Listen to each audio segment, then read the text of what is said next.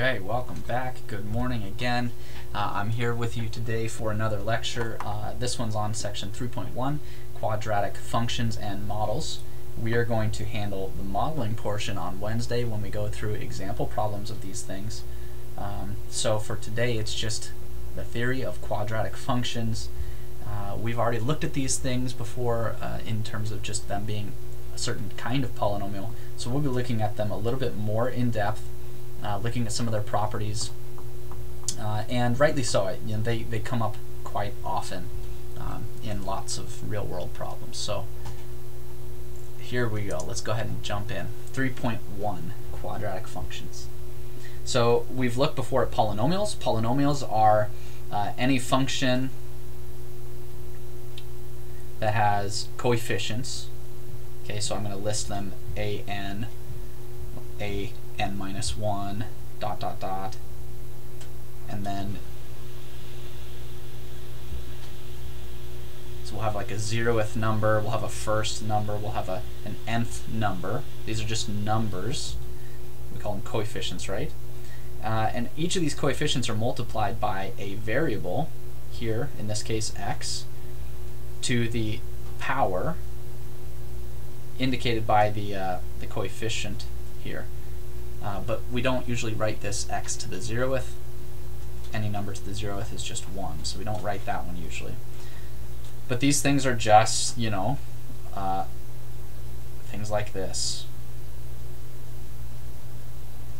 Take any old number, multiply it by a power of x, has to be a whole number power.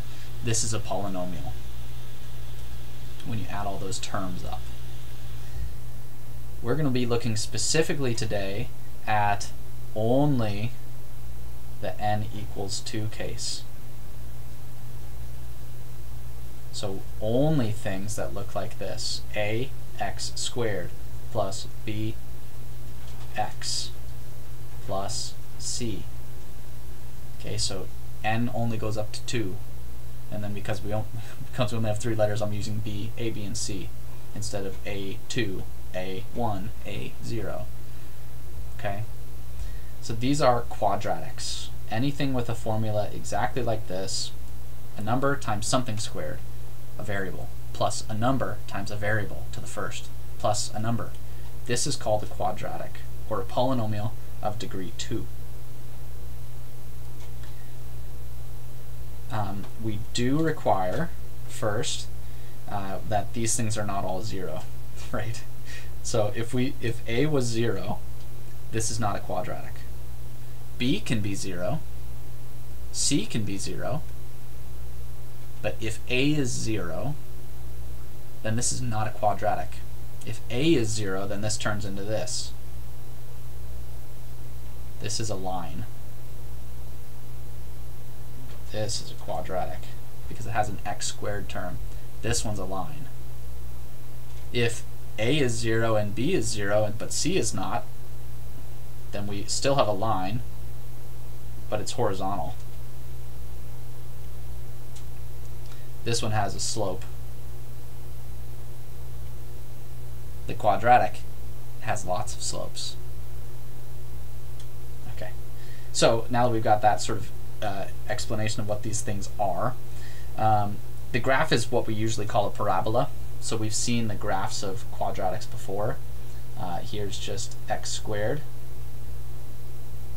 so that's that's the graph of a quadratic x squared. We call it a parabola.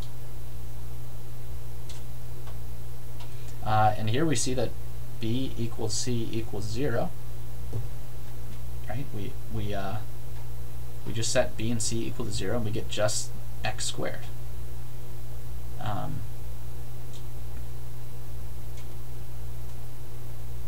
okay? So it's totally fine if b and c are 0, that's fine but a can't be.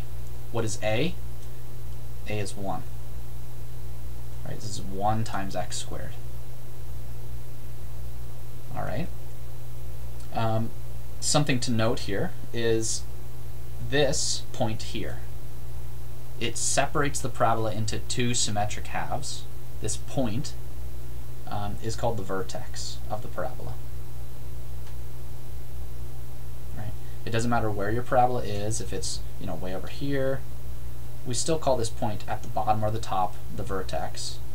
And it doesn't matter if your parabola is upside down or right side up. Whatever that biggest point is or that littlest point is, we call the vertex of the parabola. Um, what's else? What else do we have here? Vertex. Um, oh, line of symmetry. I said the, the vertex sort of is the point uh, that divides your parabola into two symmetric halves. They're symmetric about the line of symmetry. So the line of symmetry is a vertical line that cuts right through the middle of your parabola and each half, this, is symmetric to the other half. Okay, what is the equation to the line of symmetry? Oh, line on. Did I write line on? Oh no, line of symmetry. Um, what is the equation to it? We're going to find that out. But it's x equals something. And it's a constant. It's just a number. What number is it? It's whatever this intersection point is with the vertex. And I'll tell you exactly how to compute that here in a bit. Okay, I think that's all of the vocabulary we need for quadratics. Just looking here, I think that's it. So, um, let's talk about something we talked about for lines, forms of quadratics. So I'm talking about the formula. What are the different forms of quadratics? What I wrote before and what you usually see is something called the standard form.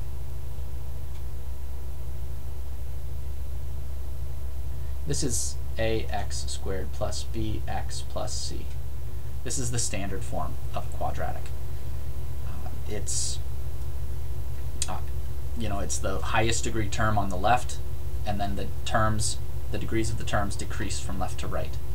Uh, there's no factorization. There's there's nothing else. It's just it's just each term added together with the highest degree on the left, lowest on the right, and it's just filtering down like that. Um, the next form is vertex form.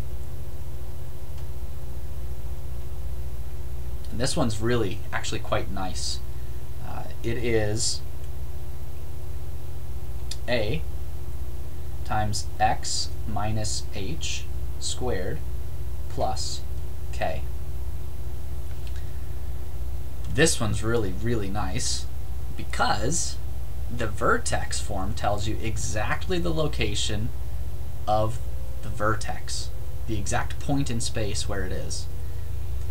So I'm going to write that here in, in blue. vertex form explicitly says the vertex, I'm going to say V, it's a point, is the point h comma. Standard form does not explicitly tell you that. Not at all. But if you see a quadratic written in vertex form, you can quickly pinpoint on the plane where the vertex is. You just have to rewrite your, your vertex form like this. You might have to worry about a sign here or a sign here. And then you're just literally reading it off of that. Okay?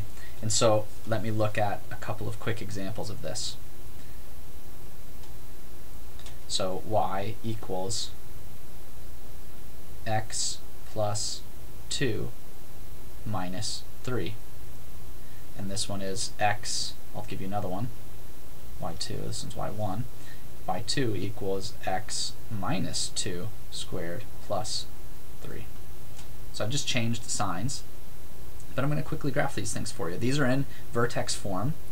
Uh, this one says explicitly on the right that the vertex is the point 2, 3.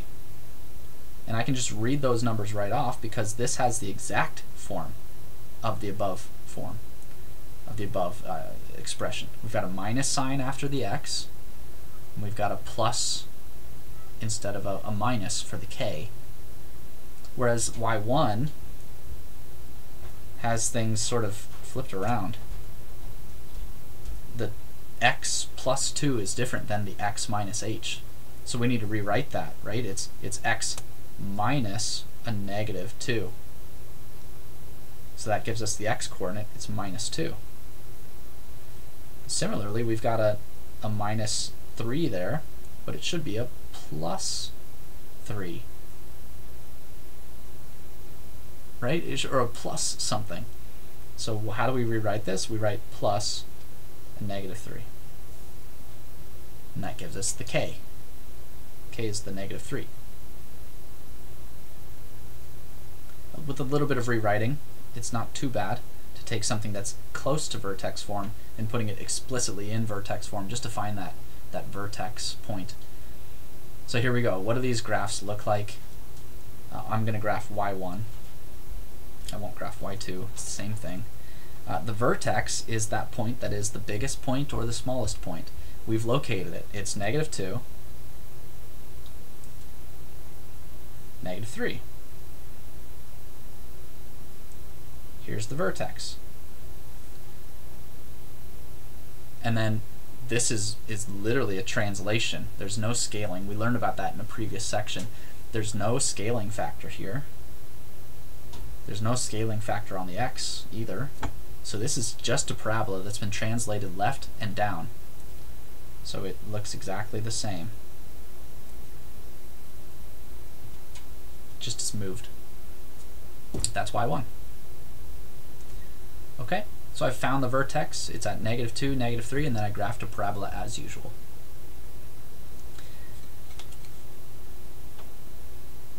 So we're going to deal with um, with this sort of thing. Uh, we're going to deal with this sort of thing for a little bit here. So uh, we're going to look at two cases. So I'll rewrite this vertex form here.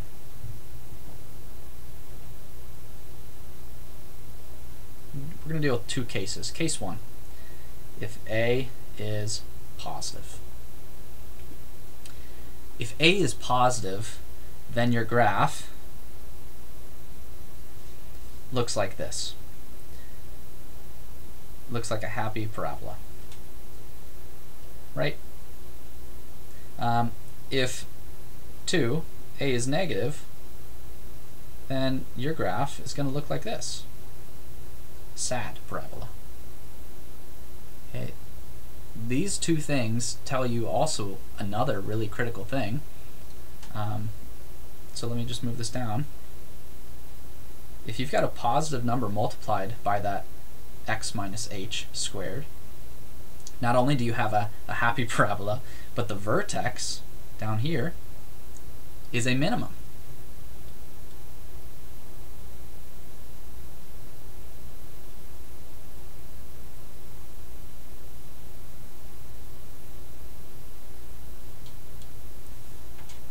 That's really handy to know specifically what is the minimum? Well, you plug in h and you get k. The minimum value of that parabola is k. It never goes below that height. If you've got a positive a and you know the vertex is at hk, the parabola never drops below k. It's always above it. If a is negative, then the vertex up here, it's a maximum.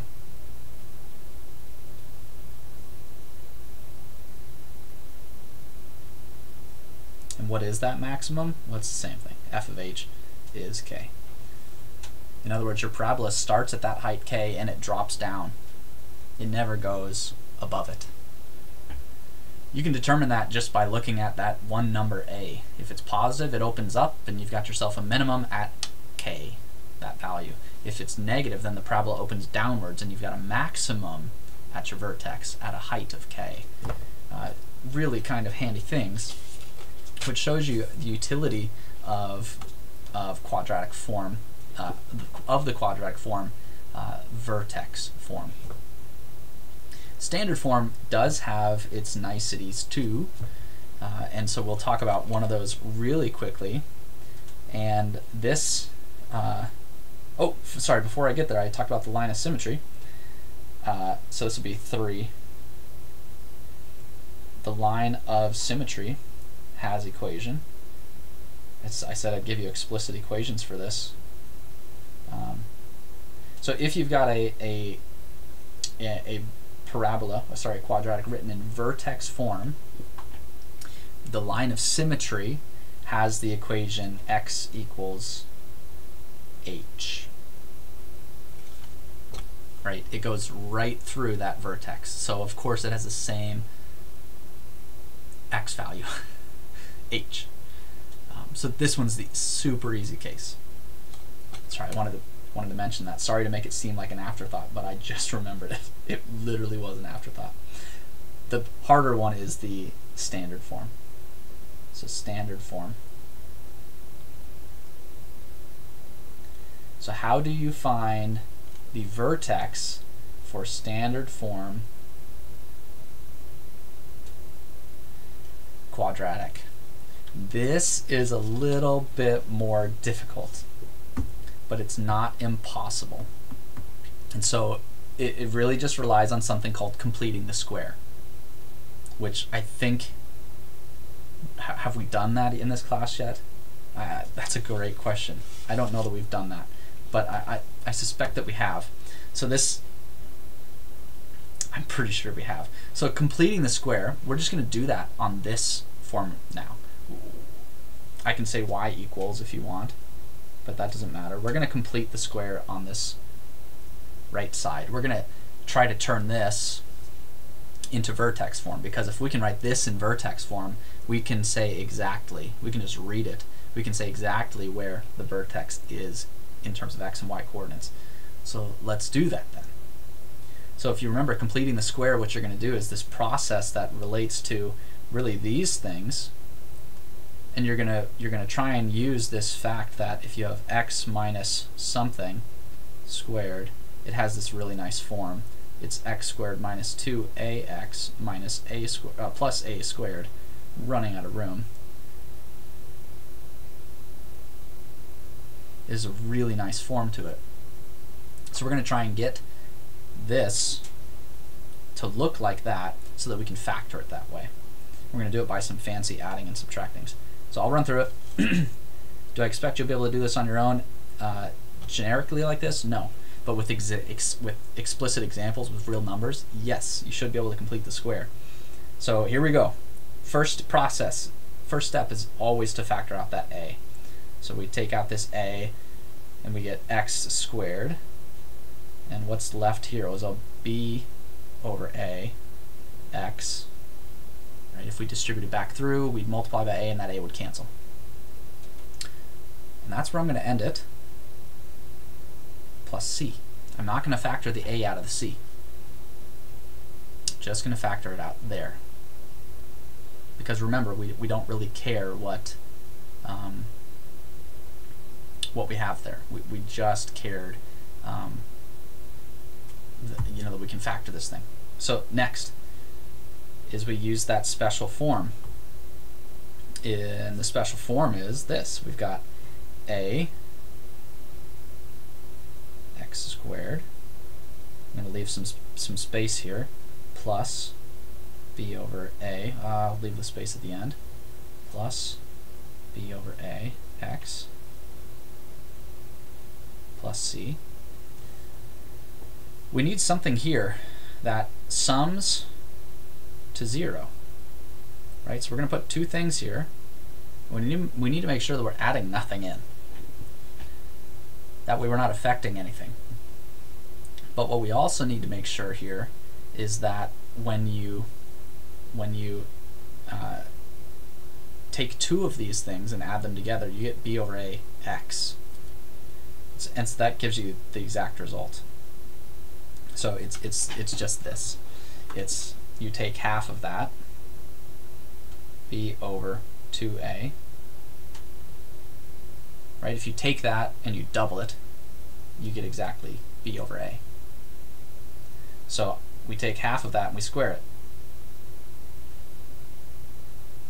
But one of these needs to be negative. That way the whole thing sums to zero. So let's just say plus this and minus that.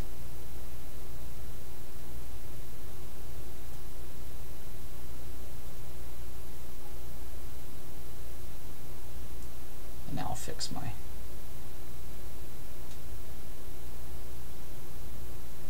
Okay.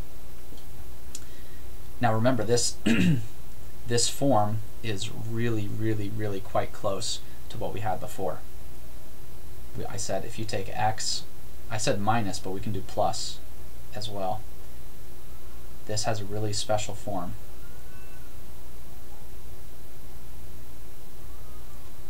And we're going to compare it to what we have written right here. If you double a, here a is b over 2a. If you double that, what do you get? So if you double it, you get b over a. If you square it, you get b over 2a squared. So it turns out that this here has the exact form of x plus a squared. So we're going to factor it like that. A times x plus b over a at 2a squared.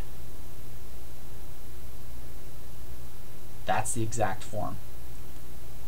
Minus b over 2a squared, that's just this leftover piece, close it off, plus c we're almost at vertex form. Almost. So we just keep going. Uh, we're going to have to distribute this over to this and to this. That way we can sort of recombine things because as it stands we've got we don't have vertex form quite yet. We need to get all the constants out of this big parentheses. So this gives us a times x plus b over 2a squared, which is pretty darn close to vertex form already, minus a times b over 2a squared plus c. Okay, now we're close. We just need to change some signs. x minus h is what we were supposed to have. So minus a negative b over 2a squared. So here, this is our h. Negative b over 2a. And then I'm to just, uh, I'm just going to flip this flip this sign flip the uh, uh, order here plus c minus b over 2a squared. Here's our k. It's plus c minus b over 2a squared. Right? I can I can group that if, if I want. That's that's fine. That's our whole k right there. So if you have a, a parabola in standard form What's the vertex at? Here you go. It's this point. The vertex is the opposite of b over 2a, comma, c minus b squared over 4a squared. And that's it. We've written our standard form into vertex form with the explicit purpose of finding the vertex we still have the case where if A is positive, we have an upwards open parabola, and so this is a minimum value. If A is negative, we have a downwards opening parabola, and that y value is the maximum. And in either case, and here's the promised formula, the line of symmetry has equation x equals the opposite of b over 2a. The vertex is always in that central location for the parabola. So if you just take the x coordinate, that's going to have that's going to give you the equation for the line of symmetry. And that's it um, for parabolas. We're going to go through several examples of this on Wednesday during class uh, from 8 to 9.20. So I hope to see you then. Um, I can tell my kids are waking up, getting ready to go for the day. Uh, they've been up. I think mom's just been letting them watch a show here, but um, yeah, we'll talk about some examples of this on Wednesday. Uh, once you've got these formulas, once you've once you've worked through figuring them out on your own, once you understand what they're saying, it's really a, a, it's quite a mechanical process to go from a given equation in standard form or vertex form. It's just a mechanical thing to give the vertex or give the line of symmetry equation or the max or min value. It, you know, once you understand these things, you literally just read these things out, right? so you just put the numbers where they're supposed to go. And so it doesn't, it's not that difficult to do that. The difficult thing is understanding where they come from. And I hope this video helps for that. Uh, if not, uh, shoot me an email or come to office hours. I'm more than happy to go through it again with some explicit examples as I go along instead of just this theoretical stuff uh, without examples. But um, I'll see you then, or I'll see you Wednesday in class. Okay? Until then.